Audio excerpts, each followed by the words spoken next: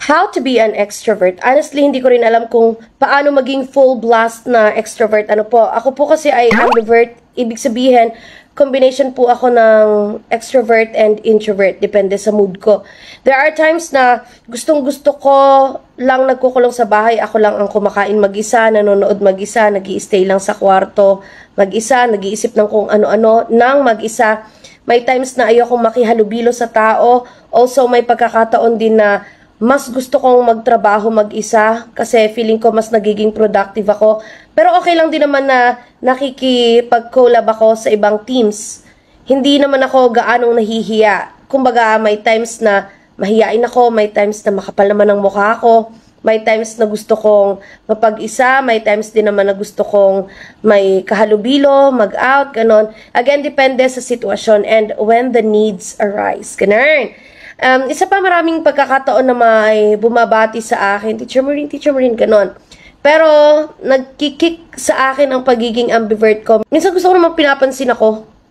Pero ayoko nung maraming attention na ibinibigay sa akin. Kaya nga minsan nagtatago talaga ako. Kasi nahihiya ako.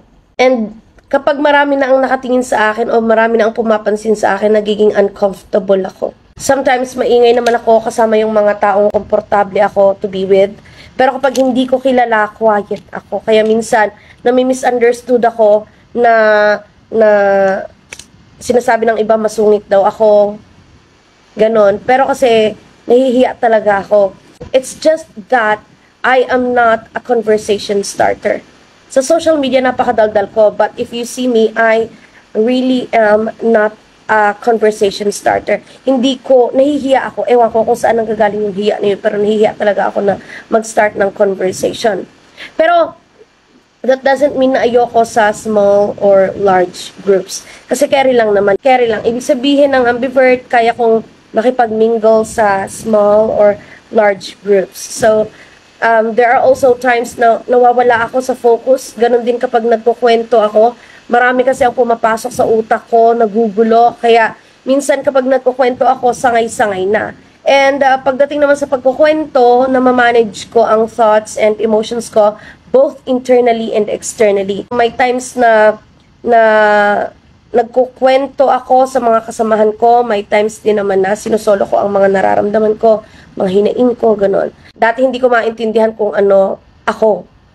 Hindi ko ma-identify kung ako ba ay extrovert, ako ba ay introvert.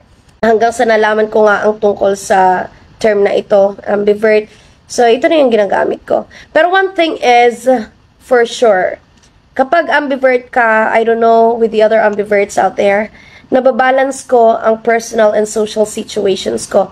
Kaya, masasabi ko din naman na flexible ako sa mga tasks, work, challenges na binibigay sa akin uh, nababalance ko siya. May time ako para sa work, may time ako para sa family and everything. So, ganun. Yan lang ang aking pagbibida-bida tonight.